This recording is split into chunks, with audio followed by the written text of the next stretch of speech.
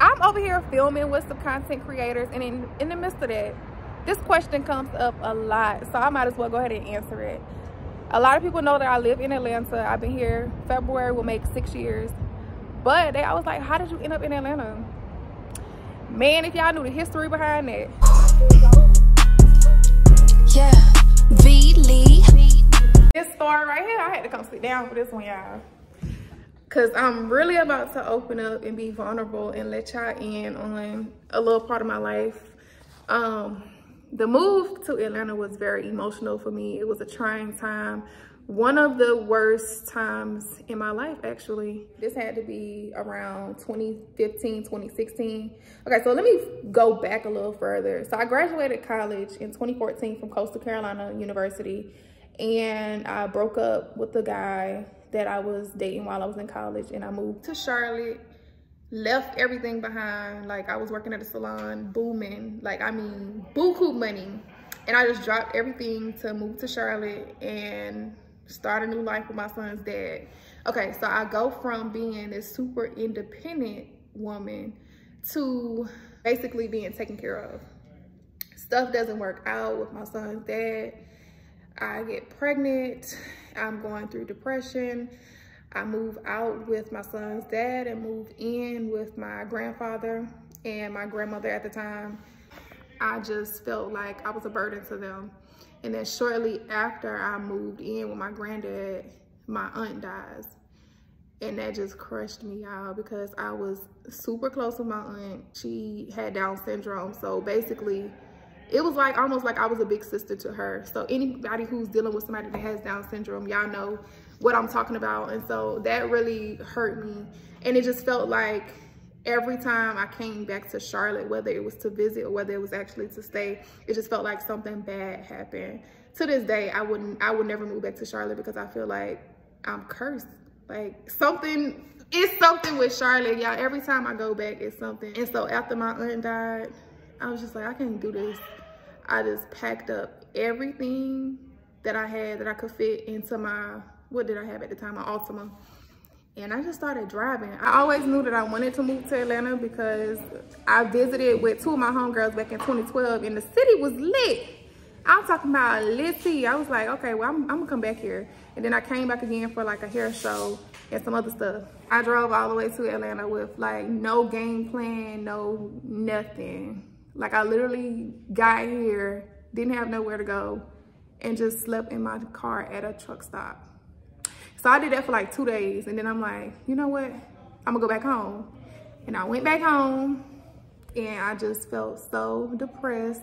So I'm like, okay, I'm gonna try it again. Get in my car, drive back to Atlanta. and this time I'm like at a truck stop, but I'm like, I'm not going nowhere. I'm about to figure this shit out get on Craigslist and I'm searching, I'm searching, I'm searching because I know like I couldn't get an apartment because I didn't have an address to use. I didn't have no job. So it was like, okay, let me figure this shit out. Find somebody on Craigslist. Hold on, y'all, because I know they're finna come in here being loud and interrupt my story. So I shall resume in a little bit. As I was trying to tell y'all before, before I was so rudely interrupted by my friends. But I found an apartment on Craigslist. I don't know what made me get on Craigslist and look for an apartment. Like I really believe that I was truly desperate at that point. I really was. Uh, but apartment popped up, a two bedroom, one bath. That's how it was listed. And I didn't think anything of it. It was listed by a man, but he said that his wife and his daughter also lived in an apartment. I didn't register that, okay, it's a two bedroom and you have a daughter and a wife, how am I able to get the second bedroom? So that did not register me, to me until I pulled up to the apartment. I'm moving my stuff in. Mind you, I think he was only charging me like 350 There is no furniture in the, in the apartment. I don't see any wife. I don't see a daughter. So a couple of days go by, I still don't see them. And it's getting really weird. Like, I would go shut myself in the room. I would leave and don't come back until I know he was asleep because this guy, when I tell y'all this could have possibly been a Craigslist killer type thing, he was so weird. Like I would literally put my bags behind the door so that if he opened the door, I would hear the door opening because it wasn't a lock on the door. I would sleep with my pistol under my pillow.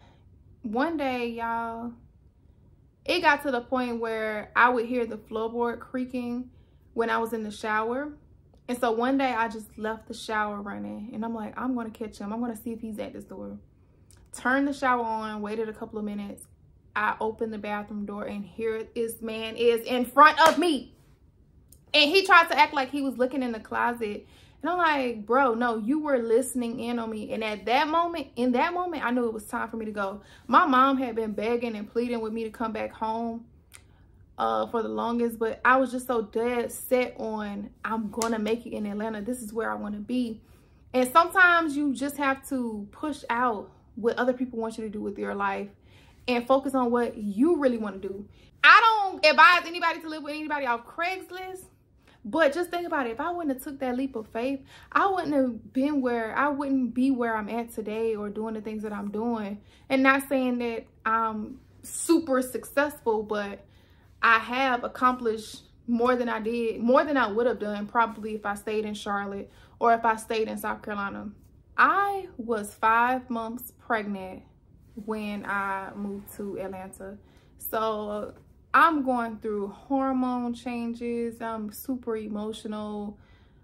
I'm trying to get over this relationship that I left in Charlotte. Uh, I felt so much pressure and guilt from, I felt like I was leaving my family behind, like my family in Charlotte, my family in South Carolina, especially my granddad.